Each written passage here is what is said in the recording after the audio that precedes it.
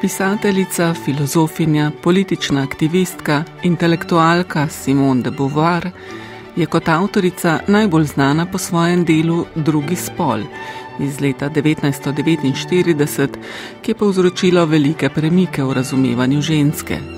V leposlovnem vidiku pa verjetno po romanu Mandarini, za katerega je prejela nagrado Goncourt in ga imamo tudi v slovenskem prevodu Tomaža Šalamuna.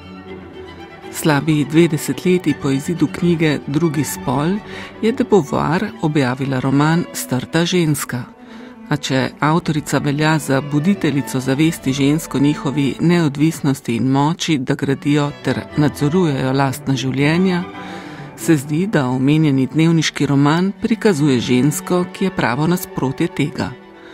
Ali je temu res tako, bomo razmišljali s prevajalko Ivanko Sket ki je podpisala slovenski prevod Strte ženske, in z doktorico Nadjo Dobnik, prevajalko in urednico založbe Književno društvo Hiša poezije, ki je knjigo izdala. Z njima se bom pogovarjala Tina Kozin.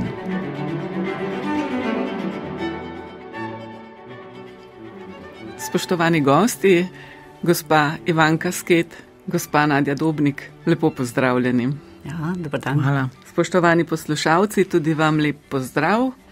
Kot sem povedala v napovedi, danes torej o Simon de Beauvoir in njeni knjigi Strta ženska, pa še o njenem položaju, zdaj govorim seveda o Simon de Beauvoir v sodobnem francoskem literarnem kanonu in o njenem pisanju sploh.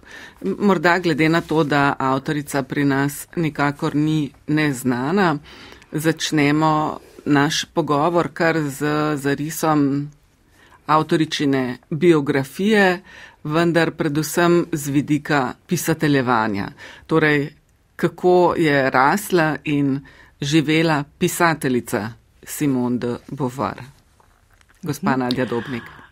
Uh, Simone de Beauvoir se je rodila 1908, to je v začetku 20. stoletja, v premožni meščanski družini, kjer je v tem kontekstu treba vedeti, da sta bili obe ščirki vzgajani po meščanskih, patriarhalnih, pravzaprav dosti rigidno katoliških moralnih pravilih se pravi za poroko, za vlogo matere, žene, varuhine doma. Tako naprej. To uh, je bilo zelo jasno začrtano, zlasti mama uh, je zelo posebljala te vrednote. Potem se pa družinska situacija spremeni zlasti zaradi Prve svetovne vojne. Po Prvi svetovni vojni uh, družina uh, se znajde obobožena in s tem se tudi koncept te uh, meščanske vzgoje poruši, ker postane jasno, da boste morali hčerki delati.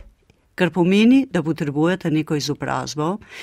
In to uh, Simon de Beauvoir tudi pogosto potem povdari, da je bila to v enem tudi izjemna priložnost, da je ona spohmila možnost, da se je to možnost odprla. Uh, da je šla v šolo, da se je učila, da je študirala. Pri tem je pa treba takoj tudi podariti, da je imela izjemne intelektualne sposobnosti, da je bila ustrajna, zagrizena in da se je že zelo zgodaj, je 14-15 letih, jasno izkristalizirala ta njena vizija, da bo pisateljica. Obenem tudi se obrne od e, kakršne koli pač katoliške ali e, verske zavezanosti in tako naprej in se e, ima za ateistko. In obenem je pomembno tudi to, da je od majhnega izjemno natančna, lucidna opozovalka odnosov. Vseh odnosov v njihovi družini, v družbi in se že takrat, pravzaprav zelo majhna, začne spraševati, v bistvu, zakaj so razlike med moškimi, med ženskami, zakaj fanti lahko počnejo ene stvari, ženske druge.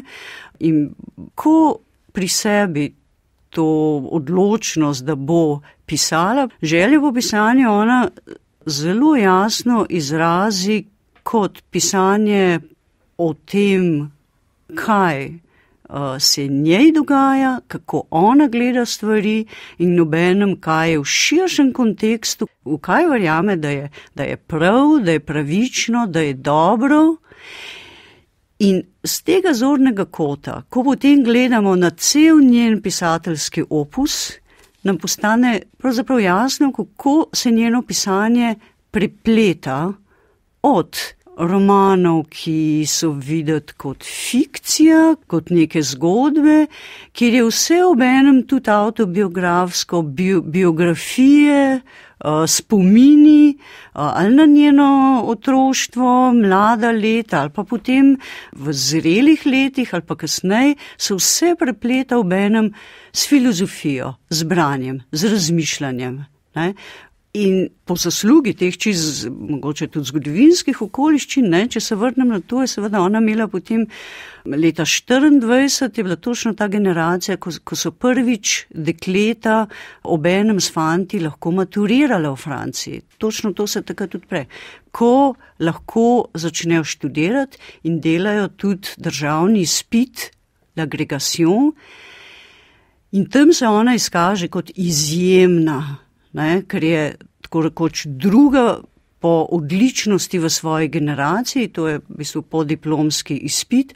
Prvi je Jean-Paul Sartre, druga na lestvici, na državni lestvici je ona in okrog njiju je cel krok, v bistvu kasneje, že v tistem času, eminentnih pisateljev, sociologov, filozofov, kot so Raymond Aron, uh, Maurice Merleau-Ponty, Claude Lévi-Strauss je, je bil njen kolega. Vse to je bilo v bistvu eno zaledje, v katerem je ona rasla. Se potem, to, kar je tudi dobro znano, seveda že takoj povezala intelektualno, intimno, osebno z Žanom Polom Sartrom. In sta pravzaprav kot legendarni par, intelektualni, filozofski, eh, pravzaprav ostala skupaj celo življenje. Ona je nekje celo omenja, da, da sta bila pravzaprav kot neka sjemska dvojčka, sta se dopolnjevala in eh, podpirala in tako naprej. Potem je sledil najprej učiteljski poklic in takrat se začenja že to njeno pisateljsko delo, kjer gre na začetku v bistvu za romane. Leta 1943 izide roman L'Invité, potem 45, recimo Le Son des Autres. To se pa obenem prepleta tudi že z eseji, recimo Pirius Sinjas, leta 44. Pa potem leta 47, to, kar imamo tudi v prevodu v slovenščini, etika dvomnosti, filozofski esej. In to je nekje to prvo obdobje, ona se leta 43, 35 letih pusti uh, poučevanje, učiteljski poklic in se posveti samo pisanju. Za Sartrom in s to uh, skupino uh, intelektualcev. Leta 1945 ustanovi revijo Letom Moderne in to je potem pravzaprav ta zagon eksistencializmu, komunizmu, tem filozofskim, eksistencialističnim filozofiji.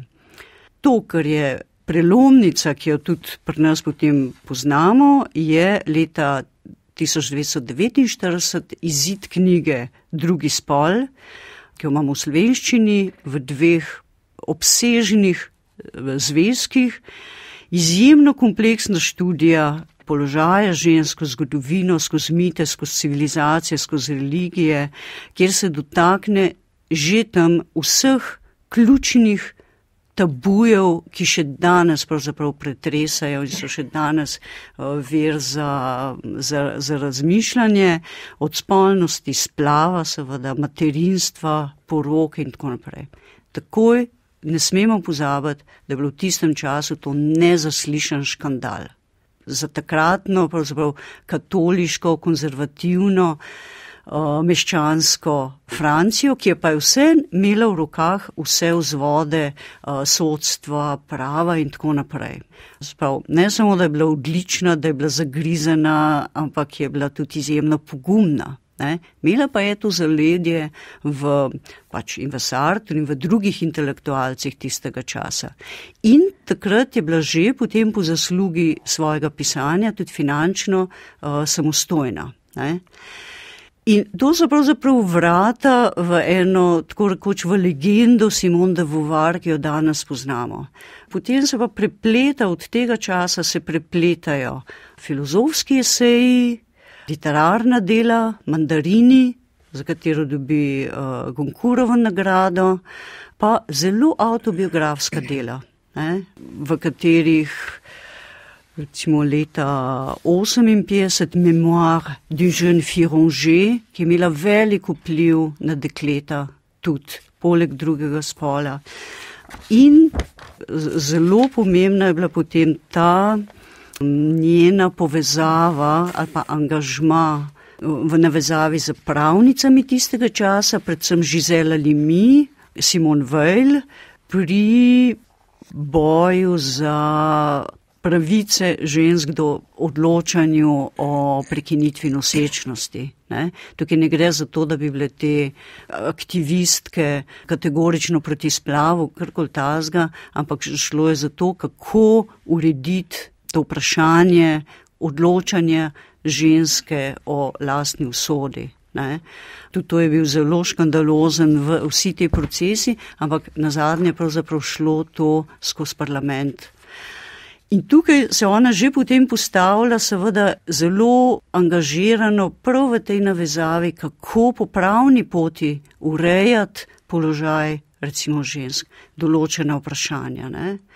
Potem pa pride, seveda, tako kot je ona, zorela in se starala, pridejo teme, ki jih vidi potem skozi, skozi druge oči, kot je recimo staranje ki imamo tudi v slovenščini, ki je izjemna študija o položaju posameznika, žensk v neki družbi, ki je kapitalistična, ki je materialistična, kjer je človek v prvi vrsti opazovan skozi to prizmo, kakšno korist ima sistem od njega in ko te koristi ni več, kakšna je pravzaprav usoda ljudi, kaj pomeni staranje, če nisi del enega privilegiranega sloja. V zadnjem obdobju recimo pridejo ta dela uh, spomini pisma, ki jih je ona urejala z enako, z podobno rigoroznostjo, brezkompromisnostjo, brez ulepšav, kar je naletelo tudi na ogromno odpora in kritik, da je preveč odkrita, ampak tukaj, če se to mogoče vrnem, pa najdemo, odkrijemo spet to malo Simon de Beauvoir, ki se je oprla tej domači uh, katoliški dvolični morali, kaj se kaže na vzven, kaj se pa v resnici dela. Ne? Ona je bila v tem zelo brezkompromisna in tudi moteča v razgaljanju tega, kaj pravzaprav v resnici je, kakšni smo v resnici, ne kakšni se želimo prikazati. In še po njeni smrti, ko so išle njeni, njena pisma z Žanom Polom Sartrom, so recimo v srednji francoski časopisi izid te knjige popolnoma popluval, razen recimo časopisa Le Monde, ki je to pač sprejel kot en pomemben dokument svojega časa. Je morda kaj znano o tem, kaj je njej pomenilo pisanje leposlovja ob drugih njenih dejavnosti, ob filozofskem, intelektualnem, aktivističnem delu? Simone de Beauvoir je pisanje videla kot pravzaprav hrbtenico svojega delovanja. Ona se je zelo jasno zavedala, da skozi pisanje govori o sebi, o svojih prepričanjih, o svoji vrednoti in nagovarja s tem bravce. Ne? Nagovarja jih pravzaprav s tem, kar ona v resnici je, kar verjame, da je. Ne? V tem Ona ni fiktivno pisateljska, se nikoli kot tako pravzaprav ni videla.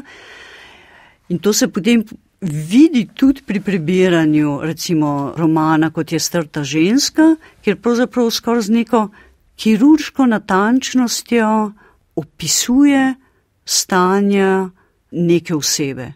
In to se v njenih literarnih delih nenehno vleče kot, uh, kot neka nit. To se pravi, ona, ko gre v pisanje romanov, ne gre v nek svet, ki je fantazijsko mm, razkošen in odmaknen, ostaja pravzaprav nekje v, v podobnih registrih, kot ko piše filozofijo.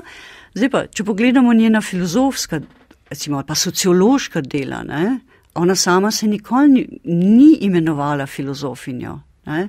Ona je bila pisateljica, je pisala.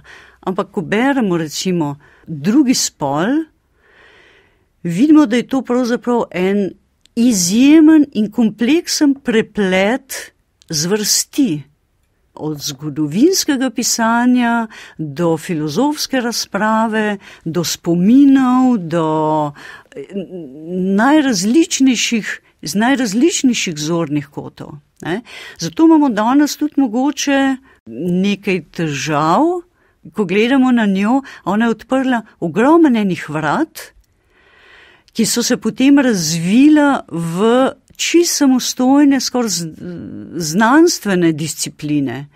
In če z vidika filozofije gledamo na njeno pisanje, je ne prepoznamo kot tipične filozofinje. Ne? Podobno, če gledamo skozi zgodovino, recimo uh, ženskih študij, je ne bomo prepoznali kot tipično pisateljico ženskih študij. Če jo analiziramo kot pisateljico, bomo pogrešali mogoče več, mogoče sproščenosti, mal več odprtega prostora za recimo za fantazijo, za neko razkošnost, mogoče primerjav, metaforiko in tako naprej. Ne? Kakšno pa je njeno mesto v francoskem literarnem kanonu danes? Vsekakor izjemno, če rečem z eno besedo izjemno, eh, tudi ko pogledamo, kako jo predstavljajo, večinoma je skoraj na prvem mestu, da je bila pisateljica. Ne, pisateljica, filozofinja, aktivistka in tako naprej. Odprla je nešteto nekih poti, za raziskave, za razmišljanja, za analize in tako naprej, ki so zelo, zelo pomembno spodbudila že njeno generacijo in potem cele generacije, kasnejše generacije pri raziskovanju, pri razmišljanju o teh poteh, ki jih je ona odprla. Omenila bi mogoče samo to, da če na francoskem radiju danes pogledamo za zadnjih recimo 10-15 let ne, oddaje, ki so posvečene Simon de Beauvoir, vidimo, da je v vsakem letu vsaj 4-5 do 10 oddaj na temo Simon de Beauvoir, različni vidiki. Ne izjemno je prisotna, še vedno je tudi zelo polemično obravnavana, ampak to je to, kar je ona tudi pravzaprav hotela, kar je hotela spodbuditi, da ljudje razmišljajo, da se sprašujejo.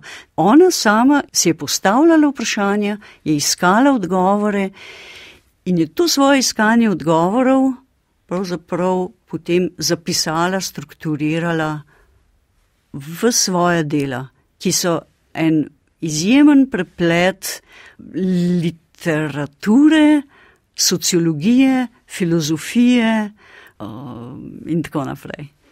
Kaj pa, če konkretno pogledamo zdaj roman Starta ženska, kako bi ga umestili v njen opus, kakšno mesto zauzema znotraj njenega leposlovnega opusa?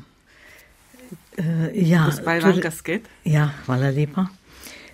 Torej, ona je napisala ta roman, oziroma bolj novelo, malo manj kot 20 let po izidu knjige Drugi spol.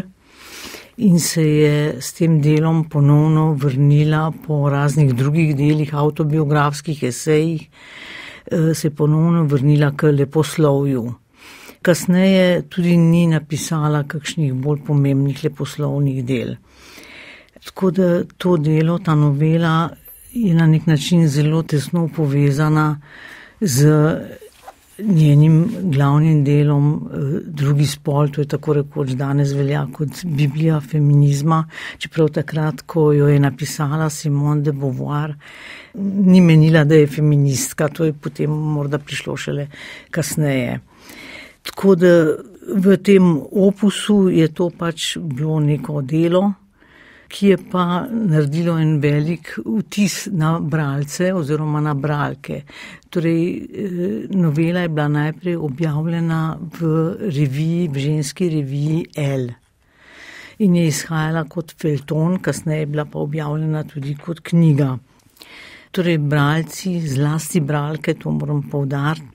Torej, ta knjiga je naredila zelo velik vtis na bralke. Zato, ker marsikatera med njimi je doživela podobno usodo in so se zelo solidarizirale z usodo Monik, to je glavna junakinja, se z njo identificirale, skratka, delile njeno usodo.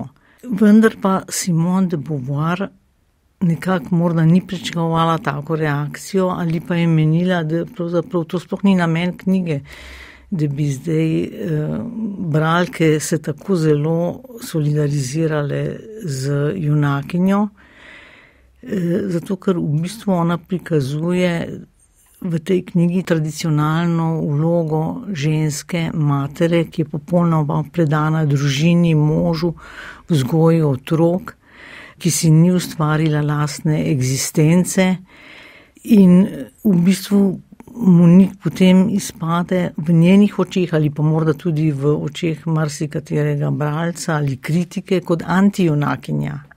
Antijunakinja, to se pravi kot ženska, ki ni bila na pravi poti, ki bi morala težiti k, k temu, da se emancipira, da se osamosvoji, da ni odvisna od moža. To je zelo tesno povezano z njenim delom drugi spol in če dovolite, bi prebrala nekaj misli iz knjige, slovenskega prevoda knjige Drugi spol, ki je šla v Sloveniji leta 2000. Zato, ker te misli, ki so tukaj objavljene, se potem v recimo romaneskni obliki pojavljajo tudi v knjigi Strta ženska. Recimo, te misli so naslednje. Ena nekatere misli so iz poglavja poročena žena. Na mesto za poklic, to je ženska, se na mesto za poklic odloči za zakonsko zvezo. To je primer v tej knjigi. Za poročeno ženo postane dom središče njenega sveta in tudi središče njenega življenja. Torej, vsi ti odlomki so izdela drugi spol. V zakonski zvezi ženski ni dovoljeno, da bi jo pripoznavali kot celovito avtonomno osebnost. Smisel njene eksistence ni v njenih rokah, tudi vendar v rokah drugih, to se pravi konkretno v rokah moža. V prvih letih zakona si ženska prizadeva občudovati svojega moža, ga brezpogojno ljubiti in ohranjati občutek, da je zanj in za otroke nepogrešljiva. Torej, v romanu je to zelo izrazito. Ona čuti, da, da mora vse narediti za svojo družino, da mora postati neobhodno potrebna, da jo drugi potrebujejo, vso njeno ljubezen, predanost. Potem naprej čitam odlomke iz uh, drugega spola. Najhuje je, da je celo njena predanost videti usiljiva, v možebih očeh se sprevrača v tiranko. To se pravi, mož čuti kot to, to navezanost, to odvisnost, kot neke vrste tiranijo. Potem je tukaj še en zelo pomemben odlomek, ki ima tudi pomembno vlogo v tem romanu. Moški, ki je dolžan še naprej moralno in materialno vzdrževati žensko, ki je ne ljubi več, se počuti žrtev. A če bi jo zapustil, potem ko je ona zastavila vse življenje za nj, bi se ona počutila kot žrtev. Zlo ne izhaja iz individualne izprijenosti, temveč iz situacije, v kateri je posamezno dejanje nemočno. To je ta situacija, konkretno v romanu, je zakon, zakonska zveza. Oba se počutita ujeta v ta zakon, oba se počutita kot žrtvi. Tako da določene misli, in teh misli ni tako malo, so dobesedno prenesene v to knjigo in se potem v knjigi razvijajo. Zakaj mislite, da se je odločila napisati prav portret strte ženske, se pravi tiste ženske, ki nekako uteleša drugi spol? Ja, morda, da bi povedala, da to ni prava pot, da se morajo ženske na nek način emancipirati, eh, ne da so popolnoma podrejene možu, podrejene družini, skratka, da si morajo ustvariti lastno eksistenco in se jim to potem v tako hudi obliki ne bi dogajalo. Ona je želela, vsaj po mojem mnenju, ilustrirati, kaj se zgodi ženski, ki je popolnoma odvisna od družine in moža. Mhm. Ki je svojo identiteto zgradila pravzaprav. Tako, tako ja. Gospa Nadja Dobnik. Ja. In v nekaterih drugih njenih besedilih, tudi recimo literarnih, pa ona na različne načine opozarja predvsem na to, kako pomembno je, uh, da ima ženska svoj lastni svet, prostor zase, to, kar potem na različne načine opozarjam, tudi pri Virginiji Woolf in tako naprej, ne, kako pomembno je, da, da diha svoje življenje, da ima svoje lastne interese, da ne veže vsega svojega življenja uh, neločljivo in nepovratno od ali v družine, lahko pa tudi od drugih dejavnosti, ne, ki bi z nje naredile neko žrtev tega. Ne, ker to, kar uh, je, je Simon de Beauvoir od majhnega opozovala in pri čemer se je uprla, je ravno ujetost uh, žensk, katoliško, tradicionalne meščanske družbe v vlogo, ki ne daje dihati, ki ne daje nobenih možnosti. Ne. Je pa mislim, da ravno po tem literarnem delu strta ženska, uh, ko je bila razočarana uh, nad odzivom žensk, ki so v tem prepoznale svojo tragično usodo in potem jokale in si dale prav in tako naprej, ona ni več prav literarnih del te vrste objavljala, ker je videla, da niso pravilno razumljene, razumljene tako kot si ona želi, v smislu, da bi bila to obenem spodbuda, za, za, za matere, ki vzgajajo hčerke, pa za mlajše generacije, kako pomembno je, da, da so ženske, pa ne samo ženske, da so vsi ljudje samostojni, da so tudi uh, ekonomsko neodvisni in da imajo lastne trdne svetove. In tukaj smo seveda v eksistencialistični filozofiji, v smislu, kako pomembno je imeti lasten trden svet in ne z njim parazitirati druge ali pa jih uklepati v neke traumatične, brezizhodne odnose. Mogoče samo, če povzamemo na kratko dogajanje romana oziroma novele za poslušalce, ki knjige še niso brali, da bodo lažje spremljali pogovor naš. Ja, e, torej gre tudi za to, da je junakinja te zgodbe, to zelo Monik, ona je živela samo za druge. E, ona sploh ni videla smisla v tem, da bi živela zase, vendar se je v celoti predajala drugim. E, in s tem je pač mislila, da tudi druge usrečuje, da bojo zadovoljni, srečni, vendar se pa potem počasi, ko se zgodba razvija, se odkrije, da ni bila pravzaprav na pravi poti.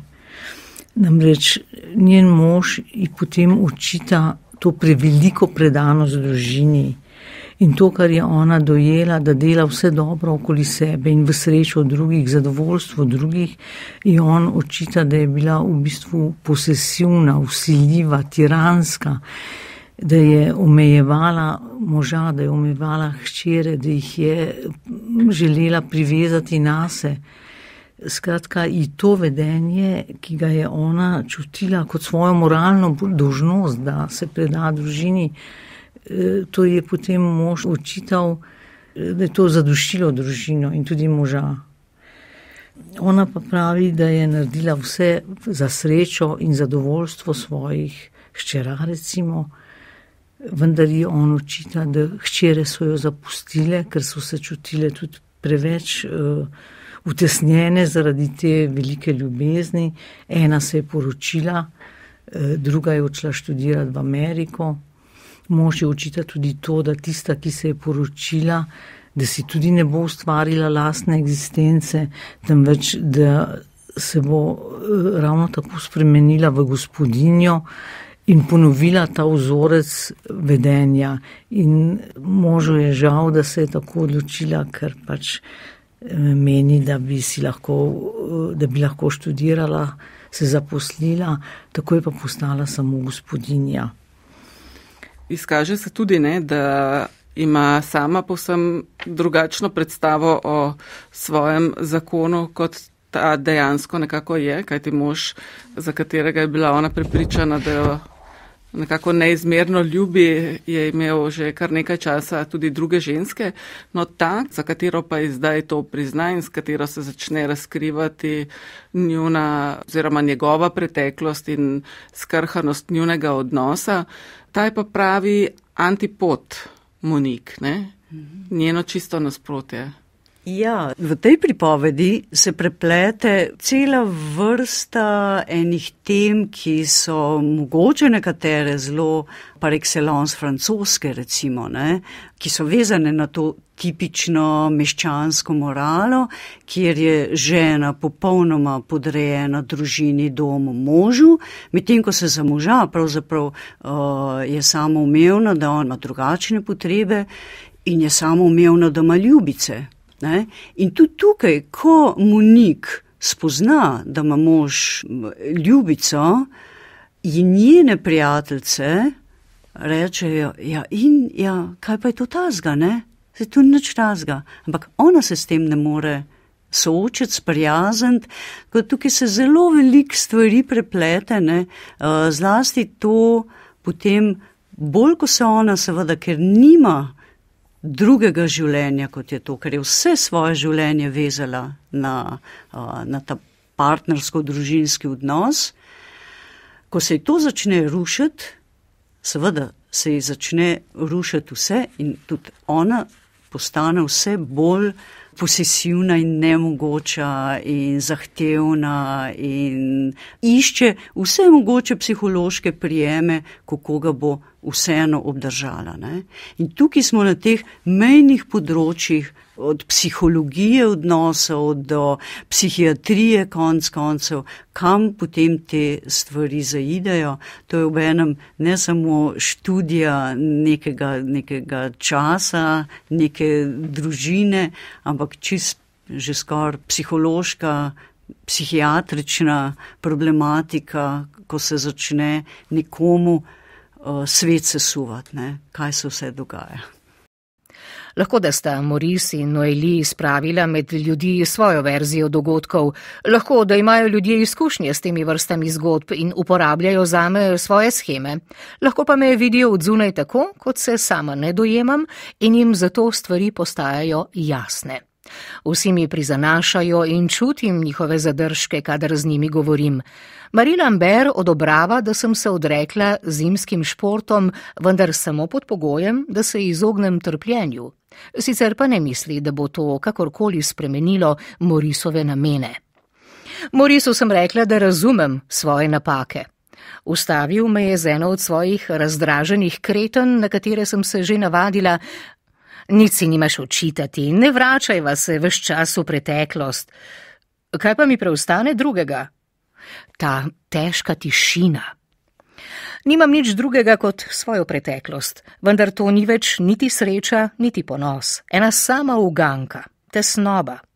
Rada bi mu izpulila njegovo resnico, to da ali človek lahko zaupa svojemu spominu. Veliko stvari sem pozabila, kot kaže, pa sem včasih celo popačila dejstva. Kdo je rekel, nič se ni spremenilo? Moris ali jaz? V tem dnevniku sem napisala, da je bil to on, morda zato, ker sem si želela to verjeti. Marie Lambert sem oporekala zaradi nenaklonjenosti, ki jo čutim do nje. Zamero, o kateri je govorila, sem pri Morisu večkrat čutila, vendar jo je zanikal, ko sva se pogovarjala na moj rojstni dan. Določene besede in poudarki pa še vedno odmevajo v meni. Nisem jim hotela pripisovati kakšnega večjega pomena, vendar se jih spomnim. Ko se je Kolet odločila za to idiotsko poroko, se je sicer jezil na njo, s tem pa je posredno napadel tudi mene, njeno sentimentalnost, potrebo po varnosti, plahost, pasivnost, za vse naj bi bila jaz odgovorna. Predvsem pa ga je prizadel odhod Lucien. Lucien je odšla, ker ti je hotela pobegniti. Vem, da to misli. Koliko je v tem resnice? Ali bi Lucien z drugačno materjo, manj zaskrbljeno, manj prisotno, prenašala družinsko življenje? Meni pa se je vendarle zdelo, da je šlo zadnje leto med nama na boljše in da je bila manj zadrta, ali zato, ker je vedela, da gre od doma. Ne vem več. Če mi je spodletelo pri vzgoji svojih hčera, potem je vse moje življenje en sam neuspeh. Sej ne morem tega verjeti, toda v tistem trenutku, ko me spreleti dvom, se mi zvrti v glavi. Ali ostaja Moris z menoj zaradi usmiljenja? Eh, potem bi mu morala reči, naj odide, pa nimam srca. Če pa ostane z njo, se bo morda Noeli odvrnila od njega in stavila na Valena ali koga drugega. Ali pa se bo začel zavedati, kaj sva si pomenila. To, kar me izčrpava, je menjavanje njegove prijaznosti in čemernosti. Nikoli ne vem, kdo odpira vrata. Kot da bi ga bila groza, da mi povzroča toliko gorja, vendar pa ga je strah, da bi mi vzbudil preveliko upanje. Ali bi morala okamneti v obupu, potem bi popolnoma pozabil, kdo sem bila in zakaj me je ljubil. Spoštovani poslušalci, poslušali ste odlomek iz romana Strta ženska. Za oddajo literarna matineja ga je prebrala in interpretirala Lidija Hartmann z našima današnjima gostjama, prevajalko Ivanko Sket in prevajalko in urednico pri založbi Kulturno društvo Hiša poezije Nadjo Dobnik se pogovarjam Tina Kozin. Gospa Nadja Dobnik, navezala se bom na to, kar ste prej omenili, namreč, da gre za preplet psihologije, psihiatrije v tem romanu. No, v odlomku smo tudi slišali, kako Simon de Bovar spretno uporabi to dnevniško obliko pripovedi, tudi za to, da malce zavede bravca. Govorim o tem, kako dobro prikaže, recimo, kot smo slišali, vrljivo naravo človeških spominov oziroma kako skozi neko podobo Monik pridemo v neko čisto drugo stanje, ko si ona prizna, da si je določene stvari zakrivala in to avtorica zelo uspešno, bom rekla, ne zmanipulira, ampak pravzaprav vodi bravca skozi zanimive obrate, prav s to obliko. Pa me zanima, kako sami gledate na to. Gospa Ivanka uh, Sket. Ja, torej, uh, roman je pisan v obliki dnevniških zapisov, kar omogoča uh, bralcu, da zelo lepo spremlja razvoj dogodkov. Torej, junakinja si zapisuje, ko se situacija slabša in ko gre iz krize v krizo, potem tudi v nekem trenutku bere za nazaj svoje zapise in ugotovi, da pravzaprav nekatere stvari niso bile take, kot jih je zapisala. To se pravi, da je šlo bolj za njeno subjektivno percepcijo situacije in dogodkov, da resnica je bila pa popolnoma drugačna. In takrat ugotovi, da so te zapisi do neke mere tudi vrljivi. Skratka, da niso bile stvari točno take, kot so zapisane. Mhm. Gospa Nadja Dobrik, pa morda še kaj o vlogi bravca? Ja.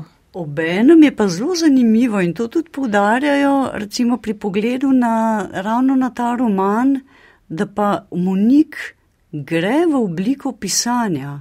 To, kar se ji dogaja, so vseeno oprime pisanja kot nekega pripomočka za to, da, da, da se analizira. Seveda te zapiski dnevniški ne nastajajo z namenom analize, ne? pa vendar potem tudi za njo samo postajajo neka oporna točka, skozi katero gre. Ne?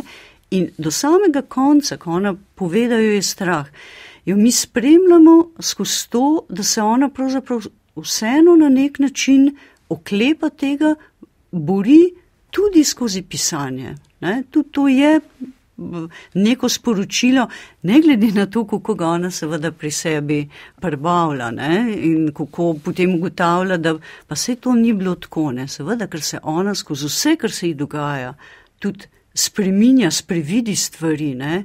ampak mogoče ravno po zaslugi tega, da je zapisovala in ji to omogoča neko refleksijo. Ne? Se strinjam. Tu bi samo navedla, tu imam citat, ki se me je dotaknil in ki se ravno navezuje na to, ne, ko pravi, citiram, vzela sem pero, ne da bi se povrnila nazaj, ampak zato, ker je bila praznina v meni in okoli mene tako velika, da sem potrebovala ta gib svoje roke, zato, da bi se prepričala, da sem še živa. Konec citata. Ja, izjemno pomembno, ja. Ja. Zelo zanimivo tudi. Ja, Dejansko govori o tem, kar ste rekli. Ona se, čeprav zgleda, oziroma je videti in tudi bralec, kar nekako se trpinči skupaj z njo, ne, uh mhm. -huh. je videti, kot da bi se samo trpinčila in nekako vegetirala v nekem stanju, ampak dejansko je to dejanje njene živosti ne, in uh, nekaj, kar govori o tem, da se bo verjetno pa vsem skupaj znova nekako vzpostavila. Ja, in V tem smislu ne, prepoznamo Simon Bovar, ki verjame v, v pisano besedo, ki verjame v to, da pisanje ima eno specifično funkcijo, seveda lasnega ustvarjanja, potem sintetiziranja eh, nekih misli, da, da jih spravljaš v obliko in da jih potem posreduješ drugim. Ne. Ona je pri tem zelo pomembno spodbudila številne mlajše potem francozinje k temu, da so s pomočjo pisanja spremljali recimo, ali pa da jim je bilo pisanje lahko čez dnevniških zapiskov neka opora pri življenju. Ne? Recimo zelo, če, če se na hitro samo dotaknem tega, uh, Nobelova nagrajenka Annie Arnaud, ki je tudi zelo kontroverzna, zelo škandalozna v Franciji, poudarja, ravno to, kako vitalno je bilo za njo srečanje s pisanjem Simon de Beauvoir. Ne? Pa ne samo z drugim spolom, tudi z drugimi stvarmi, ne? kjer je prepoznala lastno usodo male deklice, pa potem mladenke o, v, v eni taki rigidni katoliški vzgoji francoski, ki je ni dala dihati in kjer je mislila, da je z njo vse narobe. In kako pomembno je bilo to za njo najrazličnejše stvari, ki jih je uh, prebrala uh, od spominov do drugega spola, recimo uh, zato, da si je upala, da si je vzela to, to pravico, da piše, da se izraža in da s tem ni nič narobe, ni treba, da ima slabo vez zaradi tega. In kako je potem danes, vemo, Ani Arno izjemno pomembno vplivala na mlajše generacije, da so rekle, Hvala, da ste pisali. To nas je upogumil pri našem uh, življenju, uh, razmišljanju, pri tem, da smo se postavili na noge v družinah, v okoljih, kjer to ni bilo ne samoumevno, ne zaželeno, bilo to nekaj nenavadnega. Uh mhm. -huh. Čas se nam zelo hitro izteka. Jaz ja. imam za vajo še zelo veliko vprašanj, ki pa bodo ostala neodgovorjena. Gospa Ivanka Sket, ja. povejte mi prosim še kaj o vaši izkušnji prevajanja te knjige. Ja, gledajte, to je bilo v bistvu prvo leposlovno delo, ki sem ga jaz prevedla. Torej sem imela knjigo doma že od leta 72, 50 let, tako rekoč. Knjigo sem večkrat pre, prebrala. In potem se mi je pač leta 21 utrnila ideja, da bi to knjigo potem tudi prevedla in posredovala slovenskim bralcem in bralkam, ker se mi je zdela izredno zanimiva tudi za slovensko javnost. Eh, pri prevajanju pravzaprav nisem naletela na nobene težave, zato ker sem jaz s to knjigo, kako bi rekla, dihala, sem jo imela pod kožo. Sem se zelo dobro uživela v to glavno junakinjo, v njeno doživljanje situacije. E, tako da mi je šlo prevajanje v redu. Seveda, potem, ko sem to prevedla, sem dala ta prevod prebrati e, nekaterim sorodnikom, prijateljem, da sem videla prvič, če je sploh v redu prevedeno, ker sam to težko vidiš, in drugič, da sem videla, če je knjiga zanimiva tudi za slovensko javnost. No, vse je bilo to pozitivno, dobila sem tudi nekaj spodbud, pripomb, sugesti, eh, tako da sem potem to vse tudi eh, upoštevala. In ko sem eh, menila, da je eh, knjiga nared, sem se pojavila na knjižnem sejmu v štantu hiše poezije in spoznala Nadjo Dobnik in takrat so se pač dogovorili za eventualno objavo knjige. Odlično. Bi bilo škoda, če ne bi imeli.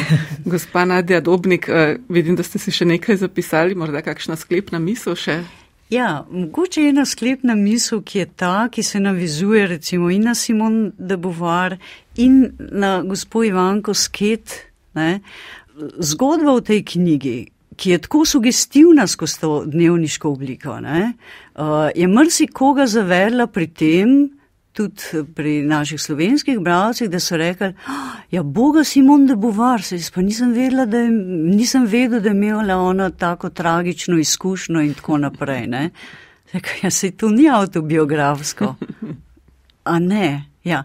Tako da tukaj imamo še vedno velik uh, enega in prostora in predsotkov na nek način, kot da se lahko pravzaprav v neke teme uživljajo samo ljudje, ki jih sami doživijo. Ne?